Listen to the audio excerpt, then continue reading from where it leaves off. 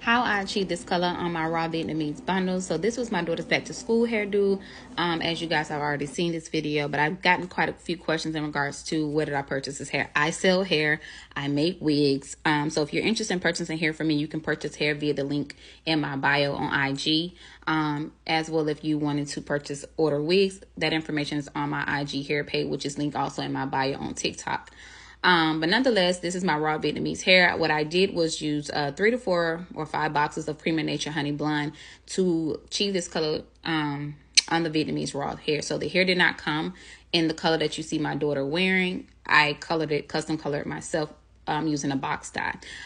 Um, and this is the process of what I did. Basically, I went through and saturated hair thoroughly. I even took the bundles uh, loose. I cut the little clips that comes on the raw hair, cut the clips off, separated it, and literally thoroughly saturated. Like I want it to be thoroughly saturated because I see when people color hair, there's an inconsistency in the color, which I personally, um, I have a little OCD and perfectionism when it comes to hair. Um, so imperfection in color is an issue because you have some pieces that are lighter and darker, especially when you do watercolor, which is why I kind of um, moved away from doing watercolor because the hair color fades over time. Yes. And then on top of that, um, it, there it be light and dark inconsistency and once you put heat on watercolor you will see that there's a difference as well so we went the permanent route with the honey blonde um, like I said, I used literally probably two bottles per bundle. She had three bundles of 24 inch raw Vietnamese hair. So what I did was pretty much take it a loose, baby. I want all the dye out the bottle. Okay, I want every last drop because I paid for it because I want all of it. And I literally ran, ran my hands through it, pulled it through, saturated the wefts um, so that I can make sure that the color got through thoroughly to every strand of house so it wouldn't be no light and dark inconsistency spots um, in her hair color.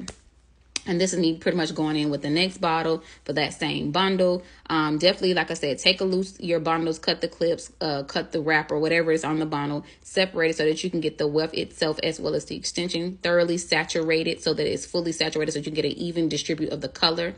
Um, and that's pretty much what I was doing here. And then once it got fully saturated, like where it was wet, wet, not dry, but wet, wet, um, like as if I had read it up on some water wet, then I will go ahead and put it in a plastic bag, a plastic cap, whatever you got around your house. Um, don't make me know, never mind. Um, but I put it in a plastic cap, tied in a knot so that the heat will help it process a lot quicker. Generally 20 to 25 minutes um, is how long you will let the hair color sit.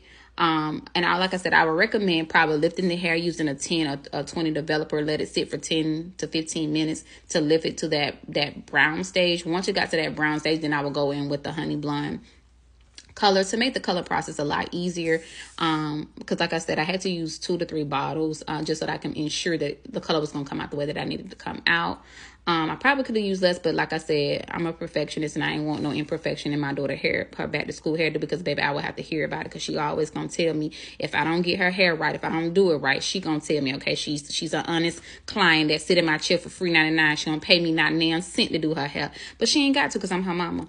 Um, but nonetheless, so that's how I color and choose that color. So no, the hair does not come in that color. That's a custom color that I did. I do do custom colors um on extensions.